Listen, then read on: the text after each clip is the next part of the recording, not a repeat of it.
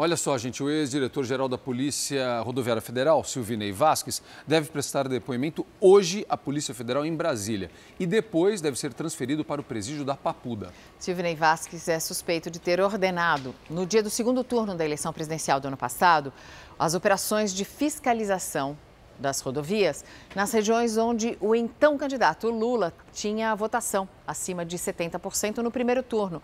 O objetivo dessas operações seria dificultar o deslocamento dos eleitores até as urnas.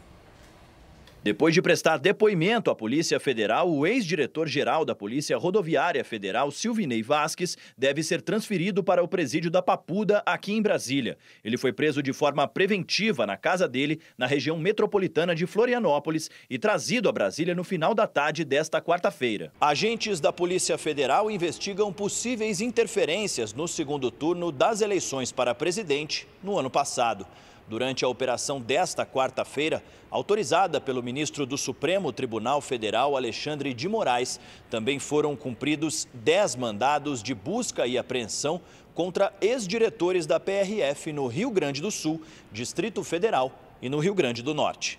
Silvinei é suspeito de ordenar operações de fiscalização nas rodovias de regiões onde o então candidato Lula teve votação acima de 70% no primeiro turno da eleição presidencial. O objetivo seria dificultar o deslocamento dos eleitores até as urnas no dia da realização do segundo turno, o que ocorreu principalmente no Nordeste.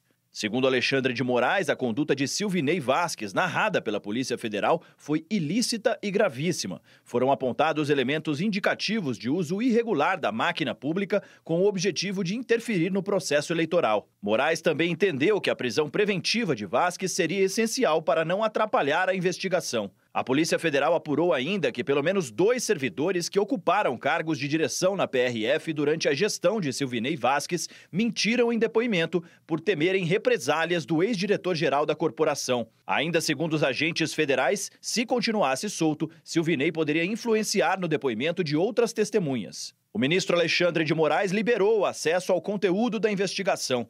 Em depoimento à Polícia Federal em novembro do ano passado, Silvinei Vasques disse que houve sim uma diferença no número de abordagens entre as operações no primeiro e segundo turnos das eleições do ano passado. Trocas de mensagens entre policiais teriam revelado que, durante uma reunião antes da votação, o ex-diretor-geral da PRF pediu policiamento direcionado. Silvinei alegou que a operação não era da Polícia Rodoviária Federal, mas sim do Ministério da Justiça, comandado pelo então ministro Anderson Torres.